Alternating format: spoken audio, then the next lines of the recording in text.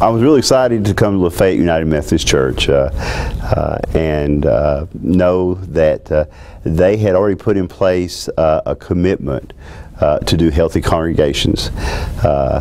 Skip Armistead came in August and led us through a seminar that was very well received. and he, in his seminar, he uh, put forth principles of ways that we could communicate in a healthy fashion and navigate uh, conflict in a healthy fashion. Uh, conflict doesn't have to be destructive. Uh, that's one of the things that our church learned.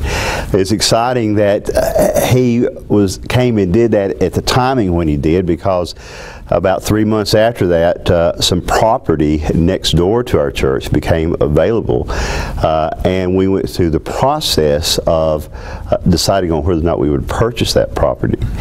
And uh, a lot of times that can be very disruptive and cause conflict within the church. Well, we talked through and we applied some of the principles that we learned at Healthy Congregation. When it came time to do our church-wide charge conference to vote on the purchase of property, property uh, there was, uh, we had almost 100% uh, in agreement. Uh, there was only one uh, nay vote against it, uh, but there was no uh, anger or uh, frustration expressed. Everyone accepted the decision, and we have moved forward in in purchasing, and we did purchase the property, and in the process of integrating it, and in a month, uh, hopefully in a month from now, we'll be totally in the new property, and in two months from now, we will have the building consecrated.